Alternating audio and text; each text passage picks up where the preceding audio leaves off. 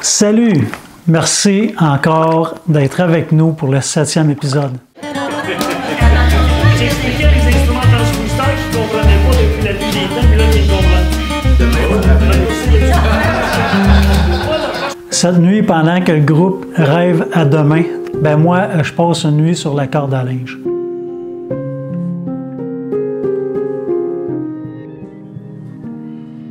Ben aujourd'hui, on visite Venise. Pas question de rater ça.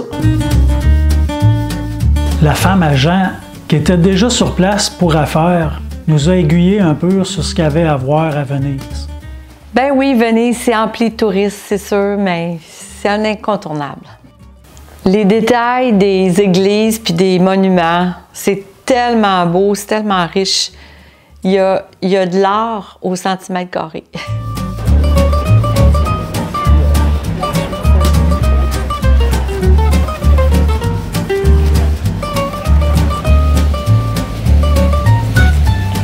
Ensuite, on s'est dissipé chacun de notre côté par petits groupes.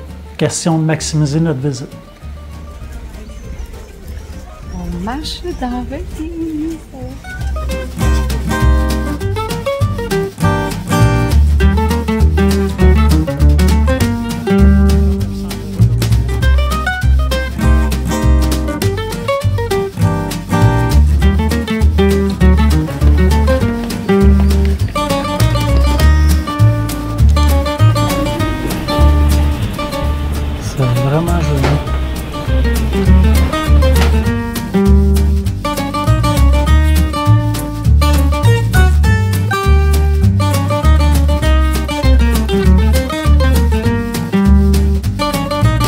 La place Saint-Marc, aïe, aïe, aïe, ouf. Il faut vraiment prendre le temps de s'arrêter, regarder les détails de l'église. C'est juste incroyable. C'est pas pour rien que ça devient l'endroit central de Venise, en tout cas un des endroits centrales. Oh wow! Quelle, quelle église! C'est la plus belle que j'ai vue de toute ma vie.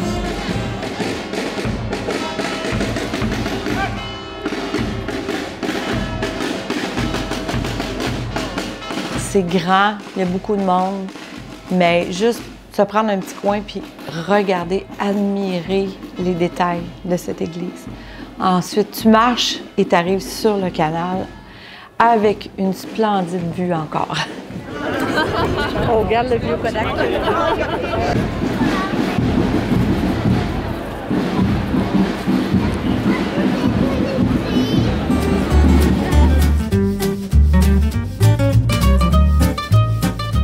On a appris que ces nombreux monuments euh, aux côtés des églises servaient à quelque chose de particulier. Ils les appellent les campaniles.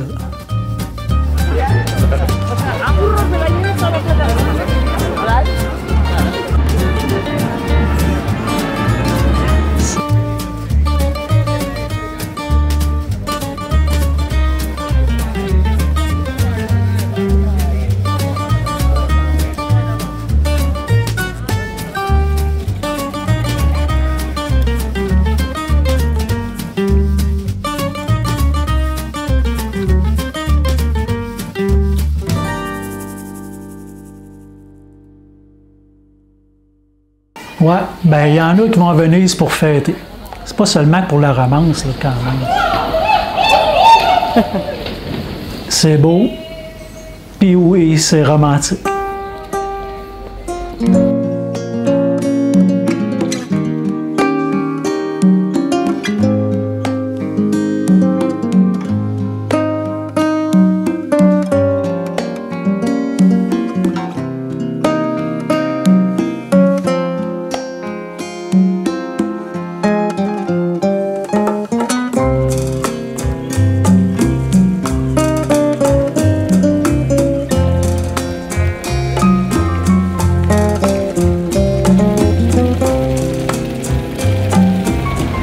Toutes les bâtisses sont tout croches, les murs entrent, ils sortent, euh, ils essayent de tenir ça droite avec des rottes de métal. Mais ça travaille, puis c'est tout croche. Comment ça, ça tient? On marche, on marche dans Venise, euh, oui, euh, on veut tout voir, mais on prend le temps aussi d'admirer les petites boutiques, les petits cafés qui sont là partout, partout. Bon, ben, ma scène de pigeon est filmée.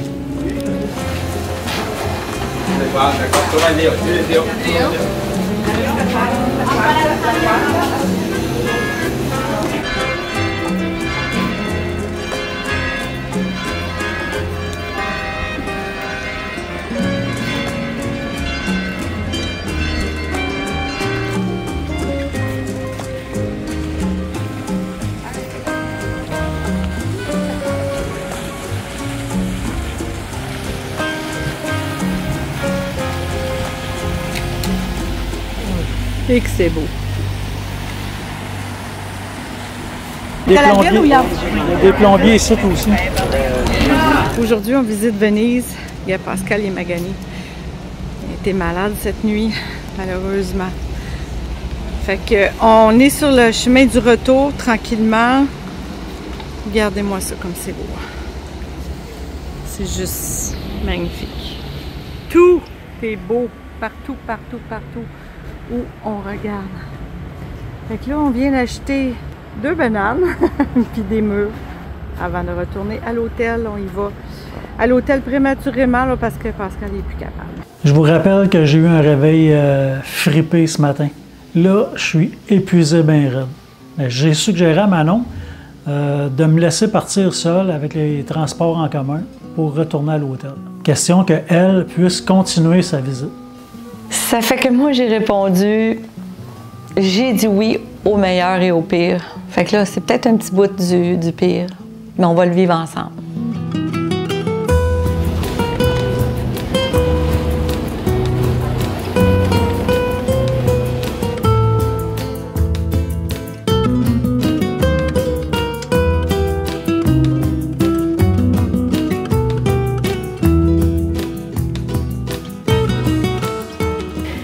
Vraiment particulier de voir que tous les transports se font sur l'eau. Oui, on le sait, Venise, c'est ça, mais quand tu es dedans et que tu le vois, c'est. Wow! Tu peux pas faire autrement que d'être émerveillé de voir ça. là.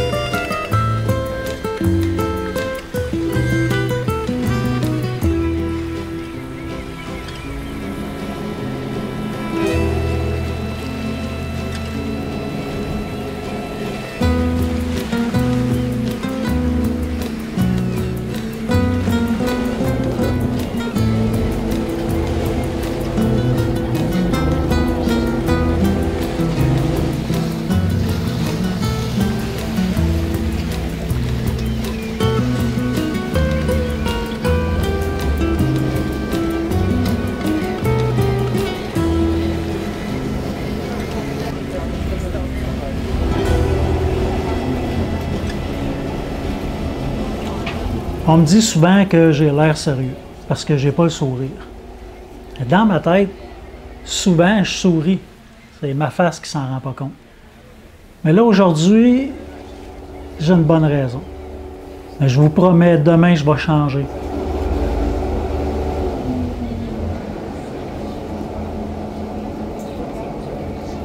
Arrivé à l'hôtel, ben, il- Pascal, euh, il s'est pas fait prier pour aller faire un petit dodo. Euh, puis moi, ben, j'ai, je suis descendue en bas, puis euh, j'ai pris mon petit drink avec la gang, puis euh, c'est le fun. On s'est raconté tout ce qu'on avait vu dans notre excursion à Venise. Parce que pendant l'hiver, la route est, maganée, il y a des roses qui sont tombées, des branches, n'importe quoi. Donc il faut la nettoyer, puis à un moment, ils vont l'ouvrir. J'espère qu'un 20 jours, ils vont l'ouvrir à la finir.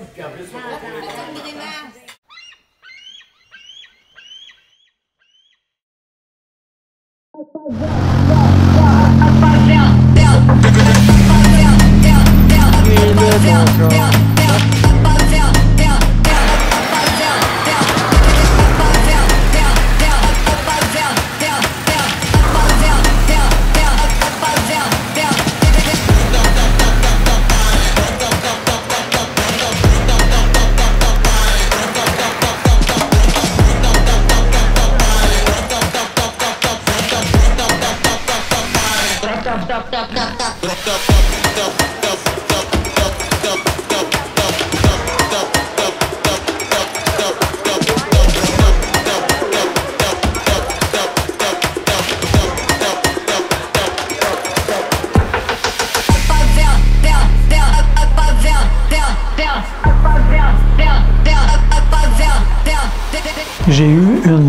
Sommeil réparatrice. Une chance. Parce qu'aujourd'hui, on a une journée quand même euh, mouvementée. C'est à Maranello, la ville de Ferrari, qu'on va luncher.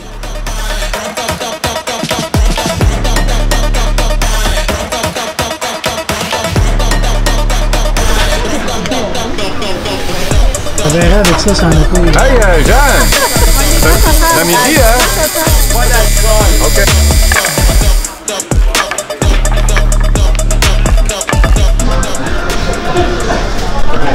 Donc,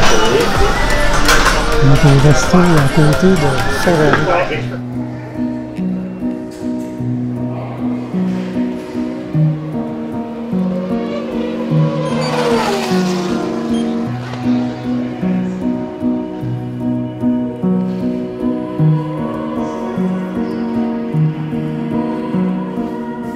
Puis pendant ce temps-là, ben Nathalie puis Luc, eux, allaient visiter le musée de Ferrari, les chanceux.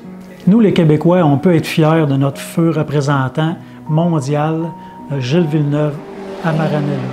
Jusqu'en Italie, il nous a fait connaître, partout dans le monde. Gilles, c'était un exemple de volonté puis de détermination. Dans sa vie, ça n'a pas été seulement que des victoires. Il en a essuyé des défaites puis des erreurs. Mais avant de se mériter son buste à Maranello, il a fallu qu'il fasse ses preuves. Il a déçu des gens, mais il a été perçu par d'autres comme un pilote montant. Quand tu donnes tout, ben ça se voit, puis on est prêt à tout donner. Puis c'est ça qu'Anzo a fait. La famille Villeneuve avait ça dans le sang. Quand on pense au frère de Gilles Villeneuve, Jacques, qui a été cassé à peu près de partout dans son corps par sa témérité, puis son fils, Jacques, qui a eu une brève carrière, mais champion du monde de Formule 1 quand même. Peut-être que tu m'entends, mais merci Gilles.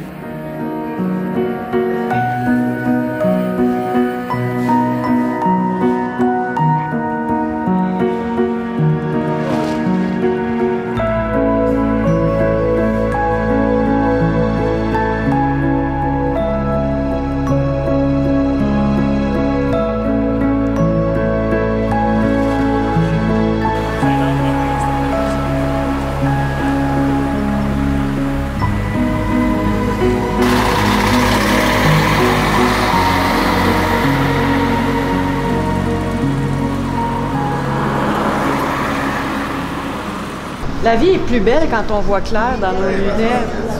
Il y a vraiment un look. Hey, Ricky boy! C'est grâce à toi, ça. T'as-tu aimé euh, ta visite à Venise? Ah oui, j'ai aimé ma vi- ah, écoute, la visite là, euh, express, par exemple, parce que Georges puis moi, hein, on a les jambes euh, un petit peu hypothéquées, mais on a aimé ça. Le monde, le noir de monde, partout, hein. Place Saint-Marc. Moi, c'est la place Saint-Marc. Place Saint-Marc. Moi, c'est les- aussi les petites ruelles. J'ai pris des belles photos de petites ruelles avec des fleurs. euh, je vais te montrer ça à un moment donné, là. Il y a Très des beau. petits jardins aussi. Il y en a qui ont aménagé des petits espaces. Ouais. Mais c'est vert, des plantes.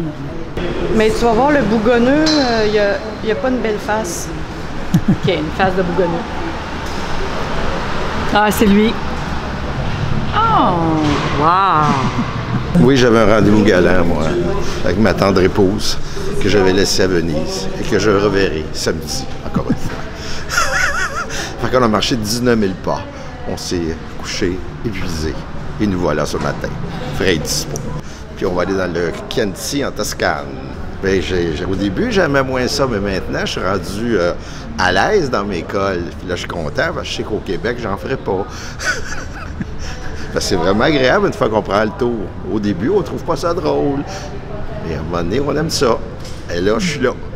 Mais tout le groupe euh, suit, ça s'est adapté. euh, Oui, oui, on a un groupe très homogène. Là, Euh, on a toujours nos, nos têtes de Turcs qu'on nommera pas ici. Mais euh, règle générale, ça va très bien. Euh, c'est sûr que euh, les pilotes qui sont plus avancés dans les groupes, ils roulent un peu plus vite quand il y a de la possibilité de, de clencher un peu, entre guillemets. Ou sinon, ben, c'est dans les journées relax normalement qu'on en profite plus pour euh, s'amuser plus, disons, de la côté du moto. Mais les groupes à date, ça va très bien, ils suivent très bien, donc on va très bien. Il y a aussi qu'on utilise beaucoup des systèmes de communication Donc euh, ça aussi, ça aide beaucoup. euh, et parce que des fois, moi, je peux expliquer où est-ce qu'on est, qu'est-ce qu'on fait, ou s'il y a des dangers, ou, ou s'il y a de- quelque chose à faire, d'arrêter, de tourner, etc. Donc euh, ça va très bien, le groupe. Donc euh, aujourd'hui, on passe de la région de Venise à la région de la Toscane. I don't mind saying I roll out of bed and I roll up. Ooh, stretch my back and legs. Well, now what did the younger me become? I make some coffee and plan, and I decide on oats and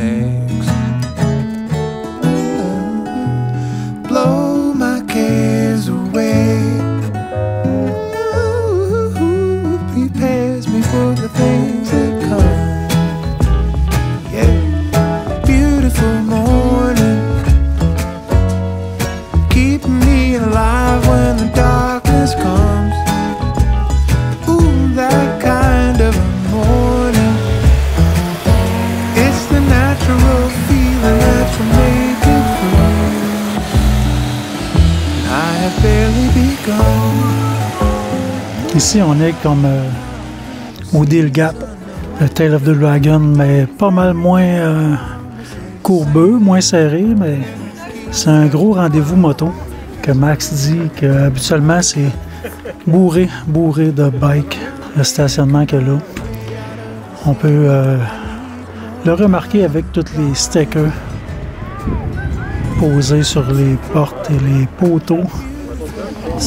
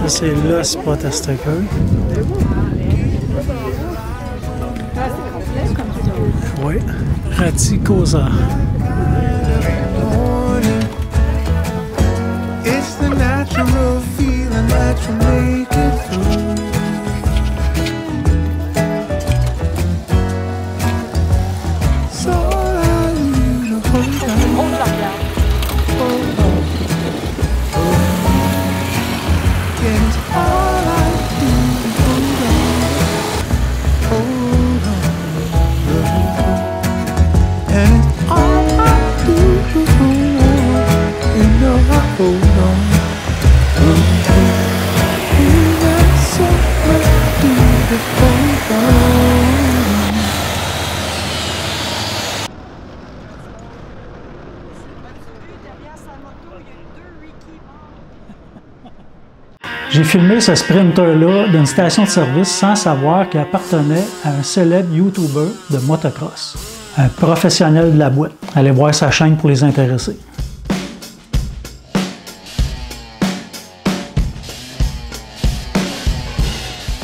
L'auberge où on était, c'était complètement différent. Ah, c'était beau, c'était calme. Euh, un endroit qui a été tout rénové, avec des petites chambres toutes coquettes, toutes différentes une de l'autre. Puis l'extérieur, ça nous, ça nous faisait vraiment relaxer. Check ça, l'arbre, toi, de façon qu'il trop. Euh, très différent de ce qu'on a vécu aussi depuis le début du voyage. C'était vraiment un retour en arrière.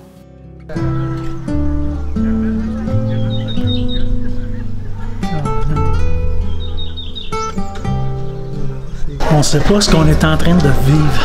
On sait même pas où ce qu'on est. On est comme dans un château, dans un sous-sol, cave à vin, baril de bois. C'est super beau. Là, il y a un restaurant en plein air avec plein de monde dehors. C'est beau. Des lanternes partout. Des passages secrets. Des belles portes. Soyez là pour le prochain épisode parce qu'on va visiter San Gimignano, Sienne et le soir aussi, on va visiter le petit village où on était hébergé. Fantastique.